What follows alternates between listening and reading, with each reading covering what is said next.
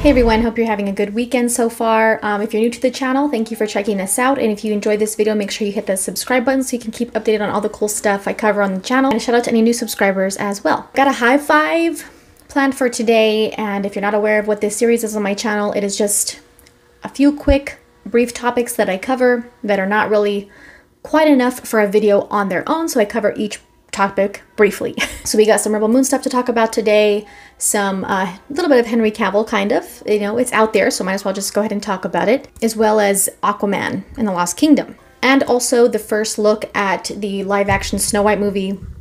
We got an image from that too, so I'm gonna talk briefly about that too. So let's get started with Rebel Moon. Rebel Moon Part 1 A Child of Fire has officially been rated 15 by the BBFC, the British Board of Film Classification. I don't really know how they're rating system works, but I'm assuming it's equivalent to like a PG 13 rating um, here in the States. Additionally, the film has been given a runtime of 134 minutes, which we talked about the runtime in previous videos too, and a release date of December 15th, 2023, potentially hinting at a theatrical run for the UK because it's coming out December 22nd on Netflix.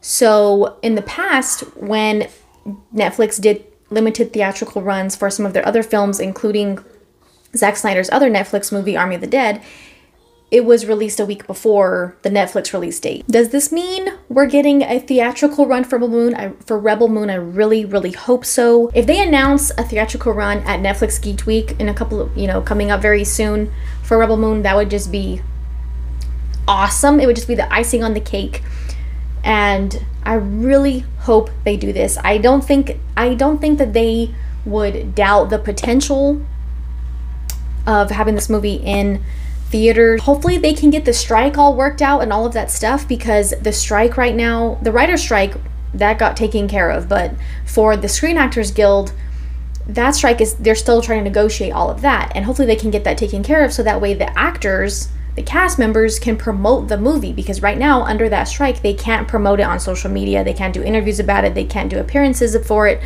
Nothing like that. I mean for other reasons too you know but especially since this movie is coming out in you know it's coming up pretty soon just in december. So i really hope that we get a theatrical run. I mean that would just be absolutely amazing. The scale of this movie both movies and potentially beyond that just i think really need to be seen in theaters So this December 15th UK release date, hopefully that's hinting at a theatrical run. But like I said, if they do some kind of announcement at Geeked Week, I hope you I hope you're I hope please Netflix, come on, give us a theatrical run. Just a couple of weeks or something. Something. But you know, just wanted to share that update on Rebel Moon. Going back to the prequel comic that was announced, I covered that on the channel if you want to get caught up on that for Rebel Moon. Um, it is available for pre-order. You can pre-order it at your local comic shop or through online comic retailers. So check to see where comics are sold on your area online and should be available for pre-order. So yay.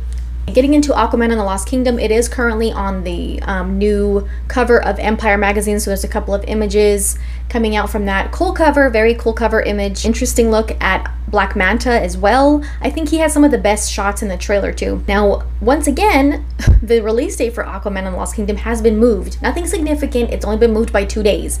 So it's going to be December 20th, now it's December 22nd. There was some other movies shuffled around too, and I think it, a lot of it has to do with the strike that's going on.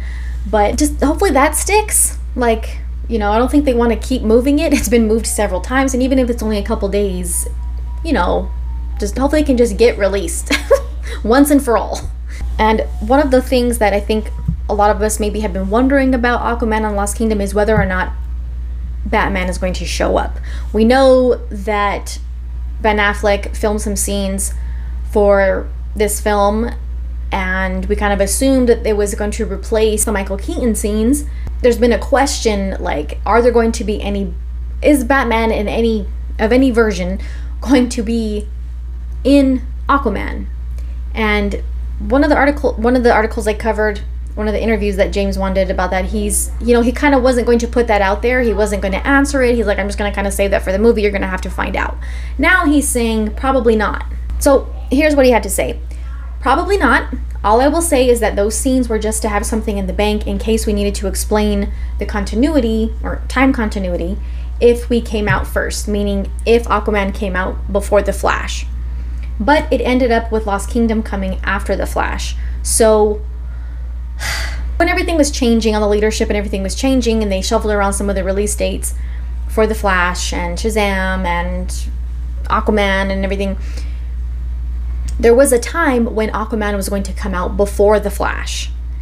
And then it changed and they pushed Aquaman all the way back to the end of the year. So the fact that, you know, we already knew at that time that Ben had filmed scenes for Aquaman, we're like, oh, that means, you know, no matter what happens in The Flash, Ben is still going to be Batman in Aquaman. Well, that might not be the case. So, based off of what James Wan is saying, I guess maybe those scenes were because if they didn't know at the time if Aquaman was going to come out before The Flash or after, so they had to have those scenes filmed just in case it came out before The Flash. This disappointing. I mean, once they got rid of Henry Cavill the way they did, my next thought was we're not going to see Ben Affleck in Aquaman 2 because if they're willing to do that to him after they allowed him to make an announcement publicly, then they're definitely not going to keep Ben Affleck scenes or whatever he filmed for Aquaman 2. They changed the ending of The Flash a few times, and we heard about the ultra, the original endings that they had planned for that movie and what they actually ended up going with. You know, the ending of The Flash leaves no room for any promises moving forward, which I think we know that they're doing a reboot. We know that Aquaman and Lost Kingdom is the last installment of this current DC universe. We know that. We're 100% clear on the fact that Ben Affleck's not going to be Batman, Henry Cavill's not going to be Superman. We know all of that. So, just let us see what was let's let us see his scene in Aquaman. I'm pretty sure that Jason Momoa is not going to be Aquaman either, and we're getting his whole movie. So, I mean, I know they're not, they're not going to scrap the movie, but we like I think he might still continue as Lobo or something, but we know he's not going to be Aquaman. I just that's what I think. But we know that they're not continuing. You don't have to be like, oh, if we put them in the movie, then people are going to expect that they're moving forward. No, we know that they're not. And Ben Affleck and Henry, like, they made that very clear. We know they're not going forward in the new universe. Just let us see them while we can. Like, it's annoying. I don't think it's gonna be a bad movie at all. I think it's gonna be a pretty good. I think it's gonna be a good movie, and I'm in, I'm looking forward to it. But I just I knew that that was going to happen with Ben scenes. I just I knew it. And it's like just let us see them while we can before this universe is over. Especially since we're not getting like a proper conclusion to this universe. Then just let us see them on screen. We already know they're not moving forward. Moving on to Highlander. So not too long ago, I made a video talking about there was kind of some you know updates that came out about Henry Cavill's um, Highlander reboot and the director, and they kind of talked about like the direction they want to go with it. That it still is very much happening. And so now there's kind of another little update about it. This says the Highlander reboot starring Henry Cavill and directed by Chad Stahelski, who's the John Wick director as well, will have a $100 million budget and is aiming to begin production next year. So they are going to be starting on it very soon. And I'm excited to see kind of like some set pictures come out. I want to see the look. I want to see like the aesthetic that they're going with, which the director, like I said um, in the last update that came out about it, um, he kind of mentioned that it's going to be a little bit more grounded. There will still be fantasy elements to it, but it's going to be a little bit more grounded. You know, they are getting the ball rolling on that. So you might have seen the first image, the first look at the Snow White live action movie starring Rachel Zegler and Gal Gadot as the evil queen. I don't know. I don't know how to feel about this image. I honestly don't.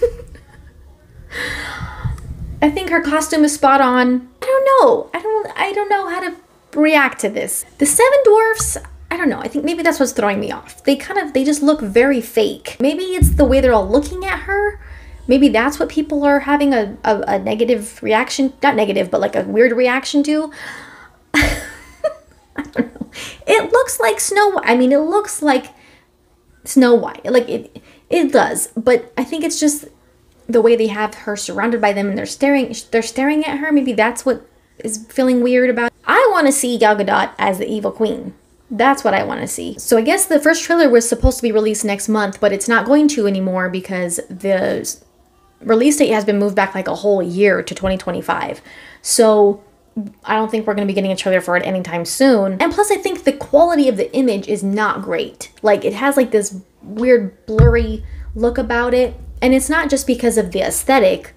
I think it just is not a very high quality pic image. Just wanted to go ahead and share that, share those updates, keep the, you know, keep you guys updated on things that are going on. Definitely looking forward to Netflix Geeked Week. I can't wait to see Avatar and the Last Airbender. Hope they have like a full length trailer for it. It comes out February, so I think it's a good time to have at least a teaser for it. The first look images look amazing, and I can't wait to see what they have to share for Rebel Moon, of course. So make sure to hit the notification bell, subscribe so you can stay up to date on all of that good stuff because I will be sharing and staying up to date on that on the channel too. Thank you guys for all the support. Check out the links in the description and um, you can check out the short section of my channel if you're interested in that as well. But thank you guys and we'll see you soon.